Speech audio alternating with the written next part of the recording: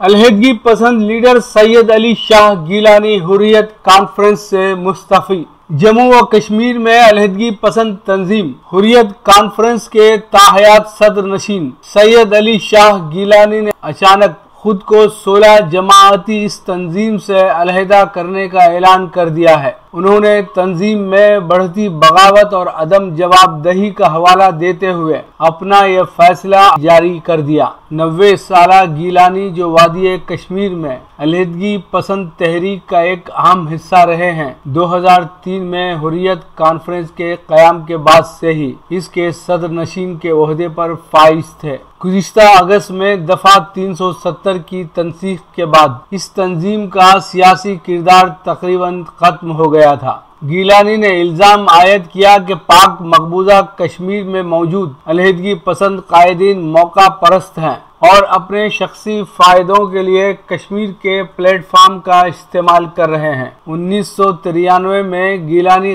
गैर मुनकसिम हुर्रियत के बानी रुकन थे। 2003 में इख्तलाफात के बाद तंजीम दो हिस्सों में तकसीम हो गई। गुजशत दस बरसों से गीलानी को मुख्तलिफ़ वजूहत के बहाने उनके मकान में नज़रबंद ही रखा गया था। जम्मू कश्मीर असम्बली के लिए तीन मरतबा मुंतखब होने वाले गीलानी ने बताया कि हुरियत कॉन्फ्रेंस के कायदीन और कारकुन जो पाक मकबूजा कश्मीर में है, वहाँ की हुकूमत में अहदे संभालने में ज़्यादा दिलचस्पी दिखा रहे हैं। उनका कश्मीर की अलहदगी से कोई मतलब नहीं रह गया है। जम्मू और कश्मीर के मौकूफ की तब्दीली के बाद इस तरफ़ के कश्मीर में भी तंजीम की सरगर्मियाँ ठप पड़ गई हैं। और इसके कायदीन को मुसलसल नज़रबंद रखा जा रहा है। उन्होंने कहा कि तंजीम की बदनज़मी की ज़िम्मेदारी वो पाक मकबूजा के कायदीन पर आयद करते हैं।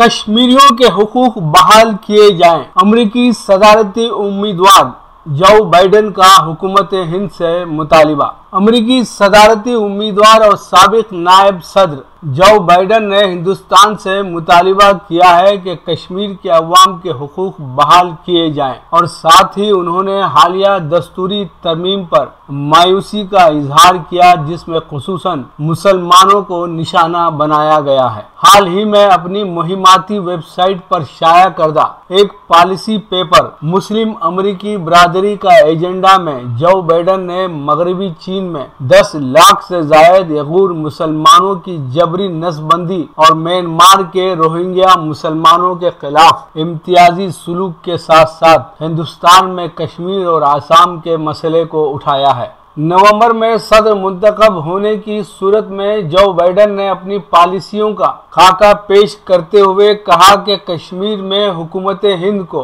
कश्मीरियों के हकूक की बहाली के लिए तमाम ज़रूरी इकदाम करने चाहिए। पुरम एहतजाज को रोकना या इंटरनेट बंद करना या इंटरनेट को सुस्त करना पाबंदियों जैसे इकदाम से जमहूरियत कमज़ोर होती है। मस्कुरा पेपर में कहा गया कि आसाम में शहरियों के कौमी रजिस्टर पर अमल, दरामद और उसके बाद किए गए इकदाम और शहरियत तरमीमी कानून की मंजूरी जैसे इकदाम से जो बाइडन को मायूसी हुई। ये इकदाम मुल्क की सेकुलरिज्म की तवील रिवायत और पायदार नस्ली और कसीर मजहबी जमहूरी तशक्स बरकरार रखने से मुतसादिम है।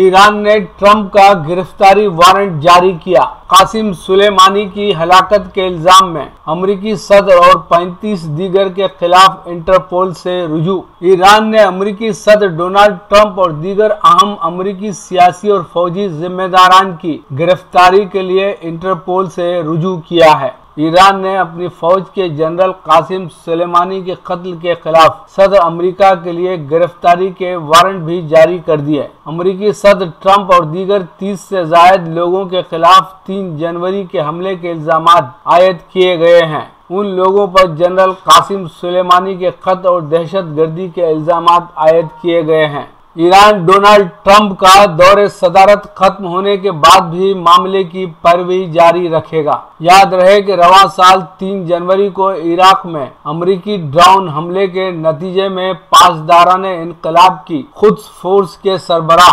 कासिम सुलेमानी हलाक हो गए थे।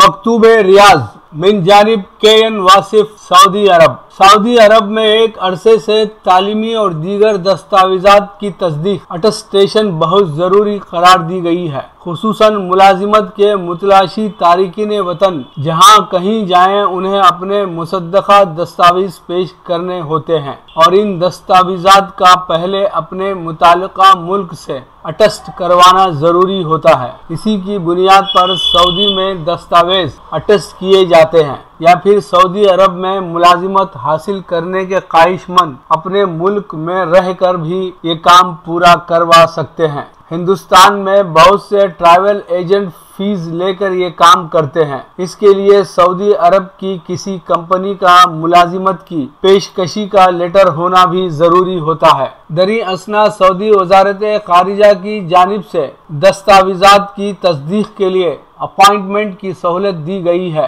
फॉरेन ऑफ़िस की वेबसाइट पर यह सहूलत मौजूद है। वजारत खारजा की वेबसाइट पर जारी बयान में कहा गया है कि दस्तावेजात की तस्दीक का पेशगी वक्त लेने के लिए खसूसी ब्राउज़र लॉन्च कर दिया गया है। दरखास्त गुजार को इंतज़ार नहीं करना पड़ेगा और वो वक्त मुकर्रा पर आकर अपनी दस्तावेजात की तस्दीक करा सकेंगे। वजारत खारिजा की वेबसाइट पर दर्ज हिदायत के मुताबिक कोई भी शख्स जिसे दस्तावेजात की तस्दीक करानी हो वो कोरोना की एहतियाती तदाबीर पर अमल करे। वेबसाइट पर कहा गया है कि दिए गए पेशगी वक्त से ज़्यादा से ज़्यादा पाँच मिनट कबल वजारत खारिजा पहुँचा जाए। मास्क का इस्तेमाल लाजमी है। वजारत खारिजा आने वाला शख्स तनहा हो किसी को हमराह न लाए। समाजी दूरी के उसूल पर अमल करे। दफ्तर में दाखिल होते वक्त जिस्मानी दर्ज हरारत चेक कराना लाजमी होगा।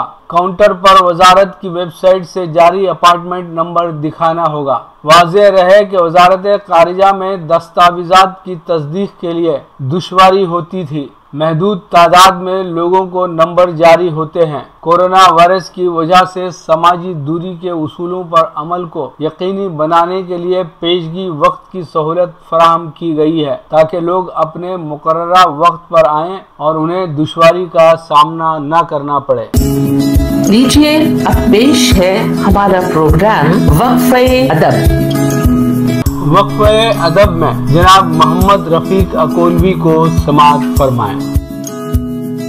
एक नज्म आपकी पेश खिदमत है, नज्म का उनवान है अदावतों की मुंडेर। और कुछ इस तरह कहा है कि अदावतों की मुंडेर पर अब रफाकतों का दिया जला है।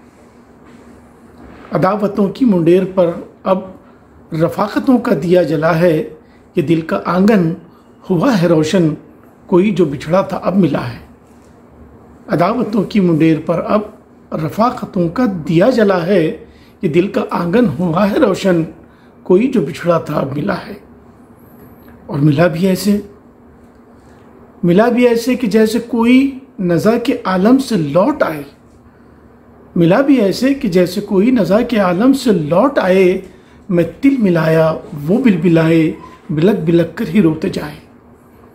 मिला भी ऐसे कि जैसे कोई नज़ा के आलम से लौट आए, मैं तिल मिलाया, वो बिल बिलाए, बिलक बिलक कर ही रोते जाए।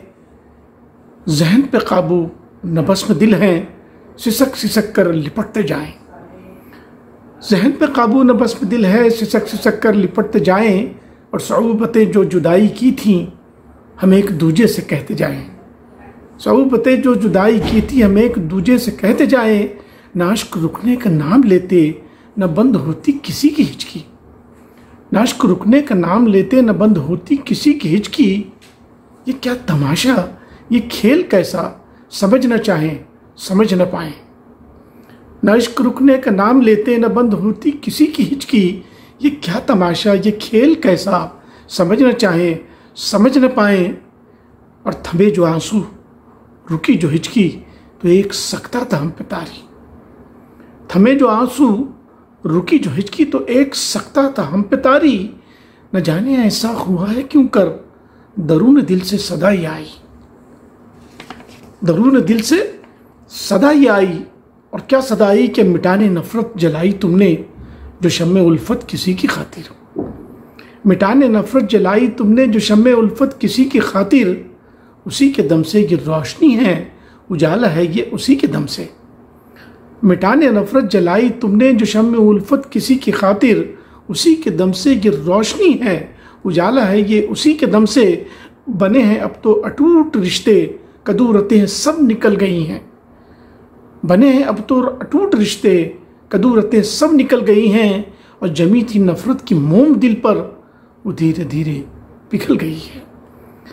बने अब तो अटूट रिश्ते, कदूरतें सब निकल गई हैं। जमी थी नफरत की मोम दिल पर, वो धीरे धीरे पिघल गई है। और अख्ताम देखिएगा हजरात नज्म का कि अदावतों की मुंडेर तुमको जो रास्ते में अगर मिले तो। अदावतों की मुंडेर तुमको जो रास्ते में अगर मिले तो बस इतना करना। बस इतना करना, दिया रफाकत का उस पर रखना। अदावतों की मुंडेर तुमको, जो रास्ते में अगर मिले तो बस इतना करना, बस इतना करना, दिया रफाकत का उस पर रखना। उजाला होगा हर एक जानब, अंधेरा छटता दिखाई देगा। उजाला होगा हर एक जानब, अंधेरा छटता दिखाई देगा। और गुजरने वाला हर एक रहजन, खुलूस दिल से दुआ ही देगा। गुजरने वाला हर एक रहजन खुलूस दिल से दुआ ही देगा। बहुत बहुत शुक्रिया आपकी समातों का।